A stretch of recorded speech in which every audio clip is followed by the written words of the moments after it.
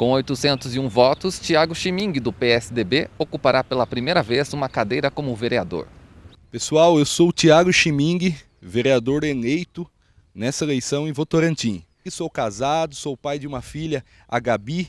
Quero mandar um beijo para a Gabi, minha filhinha de 4 anos. Tenho 33 anos, sou professor de ensino médio fundamental, sou professor de história. É, nasci e vivi toda a minha vida aqui em Votorantim. Nasci nesse bairro onde eu estou agora, na Vila Dominguinho. Morei na Alexandre Guzmão, morei na Luiz Patrocínio e na Rodrigues Macedo. É aqui nesse bairro que eu tenho os meus amigos, a igreja onde eu participo, a paróquia São José, é, os meus amigos, minha família, é, são todos aqui do bairro da Dominguinho. Esse bairro é onde eu tenho muita vivência. Desde pequeno, é, foi aqui onde eu comecei, inclusive, o meu trabalho político. É, me recordo que aos 14 anos de idade, quando eu procurei um partido, que é o meu partido hoje, o PSDB, para entrar na política foi através de uma ação política. É, os moradores aqui da Luiz Patrocínio a Dominguinho estavam reclamando de pichações nas residências. E eu lá com 14 anos fui colher abaixo assinado, assinatura com, com, com os moradores para poder levar na época para o prefeito. E isso ali já iniciou a minha, a minha vontade de trabalhar pela população, inicialmente de trabalhar pelo bairro e depois pela cidade. Foi ali que eu realmente me vi dentro da política.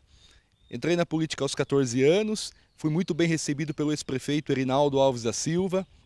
É, fiquei no partido por todo esse período, fui da executiva é, municipal do partido do PSDB, sempre caminhei junto com a hoje prefeita Fabiola Alves, entramos juntos na Câmara. Primeiro dia que a prefeita assumiu o gabinete, eu estava entrando na Câmara para assumir assessoria parlamentar em outro gabinete. É, nossas ideias sempre foram muito harmoniosas, então hoje eu quero ser um vereador é, para ajudar a cidade e também para ajudar a prefeita. É, já tive duas ou três reuniões com ela desde a eleição. Nós vamos estar em conjunto trazendo melhorias, benefícios para a cidade de uma forma é, inteligente, de uma forma inovadora. Também tive contato com outros vereadores, tanto do meu partido, do meu grupo político, como outros de outros grupos políticos também. Estamos começando a alinhar um único objetivo: fazer uma Câmara nova, mudar a imagem da Câmara, fazer com que ela seja mais acessível ao cidadão, que ela seja mais moralizada, que ela tenha mais respeito com o dinheiro público e com a coisa pública. Essas são as nossas missões. E eu, enquanto vereador, quero trabalhar também para a questão da geração de emprego, que eu acho fundamental para a nossa cidade. Embora uma crise hoje mundial por conta da pandemia, e isso afeta diretamente todos nós, é função nossa, é, eleitos agora, trabalhar para amenizar para melhorar e dar oportunidade para as pessoas. Pessoal, quero aproveitar a oportunidade para agradecer a cada um dos 801 votos que eu tive nessa eleição. São votos de pessoas que queriam a renovação, que queriam a mudança de verdade na Câmara, que queriam a moralização da Câmara Municipal. Quero dizer não só para os 801 pessoas que votaram em mim, mas para toda a cidade, que meu gabinete vai estar aberto à disposição, sem precisar marcar horário para falar comigo.